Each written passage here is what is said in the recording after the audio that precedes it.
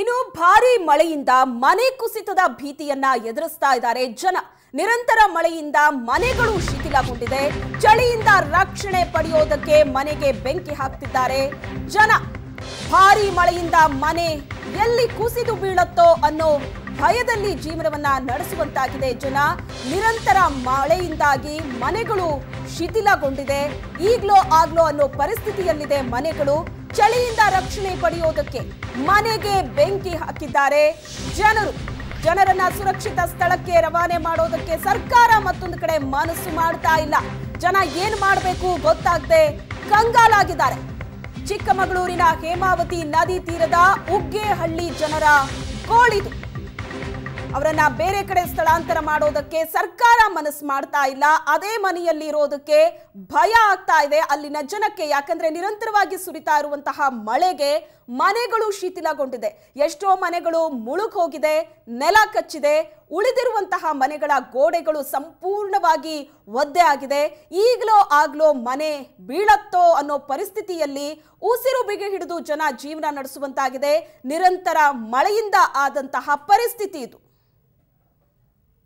ಮಲೆನಾಡ ಭಾಗವಾದ ಚಿಕ್ಕಮಗಳೂರು ಜಿಲ್ಲೆಯಲ್ಲಿ ಮೊದಲ ಸುತ್ತಿನಲ್ಲಿ ಹಬ್ಬರಿಸಿದಂಥ ಮಳೆಯಿಂದ ಸಾಕಷ್ಟು ಅನಾಹುತಗಳೇ ಸೃಷ್ಟಿಯಾಗಿತ್ತು. ಈಗ ಎರಡನೇ ಹಂತದಲ್ಲಿ ಸುರಿಯುತ್ತಿರುವಂತಹ ಮಹಾಮಳೆಗೆ ಚಿಕ್ಕಮಗಳೂರು ಜಿಲ್ಲೆಯ ಮೂಡಿಗೆರೆ ಭಾಗ ತತ್ತರಿಸಿ ಹೋಗಿದೆ. ಅದರಲ್ಲೂ ಕೂಡ ಮೂಡಿಗೆರೆ ತಾಲೂಕಿನ ಹುಗ್ಗೇಹಳ್ಳಿಯಲ್ಲಿ ಸಾಕಷ್ಟು ಸಮಸ್ಯೆಯೇ ಉದ್ಭವವಾಗಿದೆ ಅಂತ ಹೇಳ್ಬೋದು. ನಾವೀಗ ಹುಗ್ಗೇಹಳ್ಳಿಯ ಪರಿಶಿಷ್ಟ ಕಾಲೋನಿಯಲ್ಲಿದ್ದೀವಿ. ಇಲ್ಲಿ ಸರಿಸುಮಾರು ಮುನ್ನೂರಕ್ಕೂ ಹೆಚ್ಚು ಜನರು ವಾಸವಾಗಿದ್ದಾರೆ.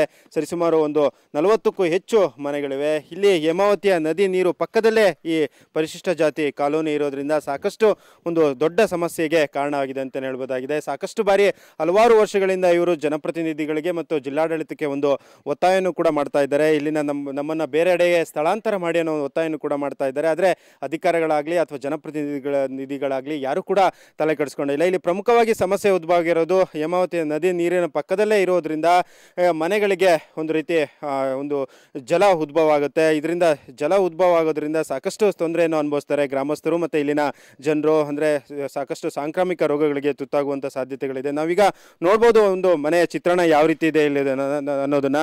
ಈ ಮನೆ ಸಂಪೂರ್ಣವಾಗಿ ಅಂದರೆ ಎಲ್ಲ ಮನೆಗಳು ಕೂಡ ಇದೇ ಇದೇ ಸ್ಥಿತಿಯಲ್ಲಿರೋದು. ಯಾಕೆಂದರೆ ನದಿಯ ಪಕ್ಕದಲ್ಲೇ ಇರೋದ್ರಿಂದ ಮನೆ ಒಳಗೆ ಸಂಪೂರ್ಣವಾಗಿ ಶೀತ ಆವರಿಸ್ಕೊಳ್ಳುತ್ತೆ. ಶೀತ ಆವರಿಸ್ಕೊಂಡು ಮಕ್ಕಳು ಸೇರಿದಂತೆ ಎಲ್ಲರೂ ಕೂಡ ವಯಸ್ಸಾದವರಿಗೆ ಹಲವಾರು ರೋಗಗಳಿಗೆ ತುತ್ತಾಗ್ತಾರೆ. ಹಾಗಾಗಿ ಒಂದಿಷ್ಟು ಪರಿಹಾರ ಕಂಡುಕೊಳ್ಳೋಕ್ಕಾಗಿ ಇವರು ಒಂದು ಪ್ಲಾಸ್ಟಿಕ್ ಮತ್ತು ಗೋಣಿ ಚೀಲಗಳನ್ನು ಹಾಕಿಕೊಂಡು ಜೀವನ ನಡೆಸುವಂಥ ಸ್ಥಿತಿ ಇದೆ. ಯಾವ ರೀತಿ ನೆಲದಲ್ಲಿ ನೆಲದಲ್ಲಿ ಜಲ ಉಕ್ಕುತ್ತೆ ಅನ್ನೋದನ್ನು ಕೂಡ ನೀವು ನೋಡ್ಬೋದಾಗಿದೆ. ಸಂಪೂರ್ಣವಾಗಿ ಶೀತ ಆವರಿಸಿಕೊಂಡಿದೆ. ಅಲ್ಲಿ ಬೆಂಕಿಯನ್ನು ಹಾಕ್ಕೊಂಡು ಜನ ಜೀವನ ನಡೆಸುವಂಥ ಸ್ಥಿತಿ ಇದೆ. ಅಂದರೆ ಬೆಂಕಿಯನ್ನು ಹಾಕ್ಕೊಂಡು ಒಂದು ರೀತಿ ಕಾವನ್ನು ಪಡೆದುಕೊಳ್ಳುವಂಥ ನಿಟ್ಟಿನಲ್ಲಿ ಒಂದು ಒಂದು ಅಂದರೆ ಅದು ಹಳ್ಳಿಯ ಸೊಡಗಿ ಸೊಗಡಿನಲ್ಲಿ ಒಂದು ರೀತಿ ಜೀವನ ನಡೆಸುವಂಥ ಸ್ಥಿತಿ, ನಿಜಕ್ಕೂ ಕೂಡ ಪ್ರತಿನಿತ್ಯವೂ ಕೂಡ ಇವರು ನರಕದಲ್ಲಿ ಜೀವನ ನಡೆಸ್ತಾರೆ ಅಂತಲೇ ಹೇಳ್ಬೋದಾಗಿದೆ. ಯಾಕೆಂದರೆ ನದಿಯ ಪಕ್ಕದಲ್ಲೇ ಇರೋದರಿಂದ ಶೀತ ಆವರಿಸ್ಕೊಳ್ಳುತ್ತೆ, ಮನೆ ಸಂಪೂರ್ಣವಾಗಿ ನೆಲ, ನೆಲಭಾಗದಲ್ಲಿ ಜಲ ಉಕ್ಕೋದ್ರಿಂದ ಸಾಕಷ್ಟು ತೊಂದರೆಯನ್ನು ಅನುಭವಿಸ್ತಾರೆ. ಮೊದಲ ಮಹಾಮಳೆಗೆ ಸುರಿದಂಥ ಮಳೆಗೆ ಇಲ್ಲಿ ಸಿದ್ದಯ್ಯ ಎನ್ನುವರ ಮನೆ ಸಂಪೂರ್ಣವಾಗಿ ನೆಲಸಮವಾಗಿರೋದನ್ನ ಕಾಣ್ಬೋದಾಗಿದೆ. ಅಂದರೆ ಎಲ್ಲ ಮನೆಗಳ ಸ್ಥಿತಿ ಕೂಡ ಇದೇ ರೀತಿ ಇದೆ. ಸಂಪೂರ್ಣವಾಗಿ ನಲವತ್ತಕ್ಕೂ ಹೆಚ್ಚು ಮನೆಗಳು ಕೂಡ ಈಗಾಗಲೇ ಬೀಳುವಂಥ ಸ್ಥಿತಿಯಲ್ಲಿದೆ. ಪ ಒಂದಿಷ್ಟು ಸುರಕ್ಷತೆಗಾಗಿ ಟಾರ್ಪಲ್ಗಳನ್ನು ಇಲ್ಲಿನ ಜನರು ಒಂದು ಸೇಫ್ಟಿಗಾಗಿ ಕಟ್ಕೊಂಡಿದ್ದಾರೆ ಅಂದರೆ ಸಾಕಷ್ಟು ನೀರು ಉಕ್ಕು ಬಂದಾದಾಗ ಅದನ್ನು ತಡೆಗಟ್ಟಲಿಕ್ಕೆ ಮತ್ತು ಜಲ ಉಕ್ತಲೇ ಇರೋದು, ಅಂದರೆ ನೀರನ್ನು ಅವಾಯ್ಡ್ ಮಾಡಲಿಕ್ಕೋಸ್ಕರ ಒಂದು ಪ್ಲಾಸ್ಟಿಕ್ ಟಾರ್ಪಲ್ಗಳನ್ನು ಕಟ್ಕೊಂಡಿದ್ದಾರೆ. ಆದರೂ ಕೂಡ ಯಾವುದೂ ಕೂಡ ತಡೆಗಟ್ಟಲಿಕ್ಕೆ ಸಾಧ್ಯ ಆಗ್ತಾ ಇಲ್ಲ. ಯಾಕೆಂದರೆ, ನೀರು ಸಂಪೂರ್ಣವಾಗಿ ನೆಲಭಾಗದಿಂದ ಮತ್ತೆ ಉಕ್ತೋ, ಉಕ್ಕೋದ್ರಿಂದ ಸಾಕಷ್ಟು ಶೀತ ಮತ್ತು ಸಾಂಕ್ರಾಮಿಕ ರೋಗಗಳಿಗೆ ಇಲ್ಲಿನ ಜನರು ತುತ್ತಾಗ್ತಾ ಇದ್ದಾರೆ. ಹಲವಾರು ಬಾರಿ ಜಿಲ್ಲಾಡಳಿತಕ್ಕೆ ಮತ್ತು ಜನಪ್ರತಿನಿಧಿಗಳಿಗೆ ಮನವಿ ಸಲ್ಲಿಸಿದ್ರು ಕೂಡ ಯಾರೂ ಕೂಡ ಕ್ಯಾರೆ ಅಂದಿಲ್ಲ. ಇವರ ಮನವಿಗೆ ಯಾರೂ ಕೂಡ ಸ್ಪಂದಿಸಿಲ್ಲ. ಅಂದರೆ ಸಾಕಷ್ಟು ಬಾರಿ ಜಲ ಇಲ್ಲಿನ ನೀರು ಮೂಲ ಇಲ್ಲ ಆಗೋದ್ರಿಂದ ಸಾಕಷ್ಟು ತೊಂದರೆಯನ್ನು ಅನುಭವಿಸ್ತಾ ಇದ್ದಾರೆ. ಇನ್ನಾದರೂ ಸಂಬಂಧಪಟ್ಟಂತಹ ಜನರು, ಮತ್ತು ಸಂಬಂಧಪಟ್ಟಂಥ ಅಧಿಕಾರಿಗಳು ಸಂಬಂಧಪಟ್ಟಂಥ ಜನಪ್ರತಿನಿಧಿಗಳು ಇತ್ತ ತಿರುಗಿ ನೋಡಿ ಇವರ ಸಮಸ್ಯೆಯನ್ನು ಆಲಿಸಬೇಕಾಗಿದೆ. ಒಟ್ಟಾರೆ ಮಹಾಮಳೆಗೆ ಚಿಕ್ಕಮಗಳೂರು ಜಿಲ್ಲೆ ತತ್ತರಿಸಿ ಹೋಗಿದೆ. ಅದರಲ್ಲೂ ಕೂಡ ಮೂಡಿಗೆರೆಯ ಹುಗ್ಗೇಳಿಯ ಪರಿಶಿಷ್ಟ ಜಾತಿಯ ಕಾಲೋನಿ ಜನರು ನಿತ್ಯವೂ ಕೂಡ ನರಕದಲ್ಲಿ ಜೀವನ ನಡೆಸ್ತಾ ಇದ್ದಾರೆ. ಇನ್ನಾದರೂ ಇವರ ಕಡೆಗೆ ಜಿಲ್ಲಾಡಳಿತ ತಿರುಗಿ ನೋಡುತ್ತಾ ಕಾದು ನೋಡಬೇಕಾಗಿದೆ. ಚಿಕ್ಕಮಗಳೂರಿನ ಕ್ಯಾಮ್ರಾಮ್ಯಾನ್ ಶಶಿ ಜೊತೆಗೆ ಆಲ್ದೂರ್ ಕಿರಣ್, ಸುವರ್ಣ ನ್ಯೂಸ್.